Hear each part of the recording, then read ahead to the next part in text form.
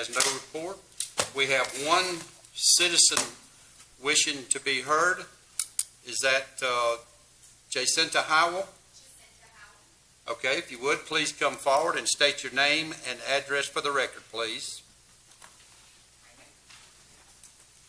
My name is Jacinta Howell, and I live at 3582 Beulah Circle. Okay. Yes, ma'am. Go right ahead. So um, I'm coming before you today, and forgive me for speaking fast, but I've only been given five minutes. I felt that the most appropriate thing um, to do for my five minutes was to read a post that I made on Facebook regarding the concerns that I had. So I'll go ahead and read that for you. So again, this is an open letter to Lowndes County and the City of Valdosta Engineering Department.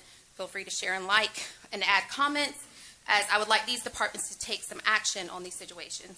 So to whom it may concern, I am writing this letter out of concern for multiple issues that I have continuously noticed regarding the road maintenance and infrastructure in the roads in Lowndes County and Valdosta city limits. This is in no way to attempt to shame or any particular person or department, but to bring to light these issues in order that they may be given uh, careful consideration and fixed as deemed necessary.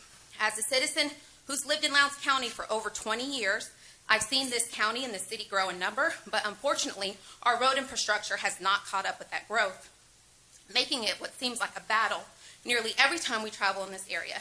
Now, it's true that each driver has the responsibility of driving as safely as possible, but at the same time, the individuals responsible for the actual road setup have the responsibility to mitigate any potential dangers they may have inadvertently created by their structure or how they are set up. In my personal opinion, the county and city are failing in that area, leading to dangerous travel, increased road rage, and frustrations as well. So let me provide you with a few examples, some of which I have personally called and reported, but have not seen any changes regarding. So the intersection of Oak Street Extension and Bemis Road, there's a gas station that's located there. I hope you guys are all familiar with where I'm talking about. Um, the Flash Foods gas station located there. At multiple times during the day, there are people that are at that light turning left off of Oak Street Extension onto Bemis. And at the same time, um, multiple times throughout the day, there's someone turning off of Bemis onto Oak Street Extension and then wanting to make that immediate, immediate left into the gas station, though there are double yellow lines that indicate that this should not be happening.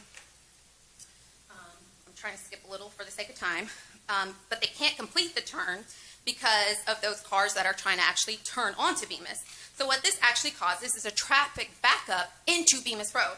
I have personally witnessed this happening with school buses.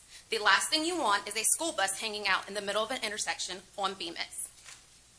Um, again, I per- personally witnessed this on multiple occasions, which led me to call the engineering department. This is a couple months ago. I understand there has been a change in um, leadership there um, to request for a no left a no left turn sign to be put at that location, which really just reinforces what the road actually already states to do based on the double yellow line. However, that request was not honored, and I received no follow up on it. Bemis Road in itself is a hazard. Yes, there's been many improvements and the reduction in head on, head on collisions from the days in which the divider didn't exist, because again, I've lived here long enough to, to see that change in Bemis Road. However, there's still an abundance of hazards that exist.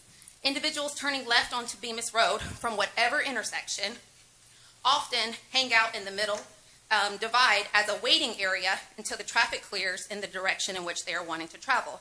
This causes issues with individuals that are using that same turning lane to make a U-turn. I, again, have personally seen this cause, um, cause accidents and nearly cause accidents on a daily basis. This problem could simply be alleviated if signs were put up stating that U-turns have the right of way or if traffic lights were installed at those particular intersections where this happens frequently, i.e. Bemis Road and Pine, um, Old Pine Road, Bemis Road and Huntley Drive, which is by Taco Bell, and Bemis Road and Knights Academy. Traffic flow. Certain intersections that would be much better served and flow better if there were traffic lights put there in place. Two examples that I come up with off the top of my head are Forrest Street Extension and Knights Academy Road, and also Lake Lowry Road and Cherry Creek.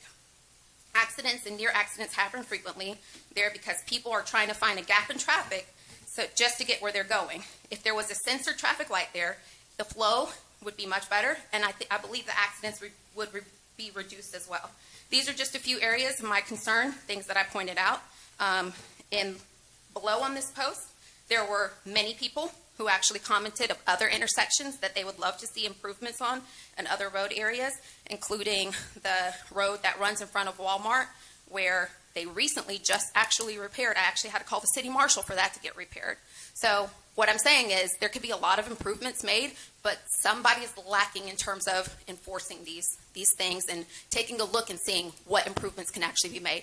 If the city is growing, the road infrastructure needs to be keeping up with it. Thank you, ma'am.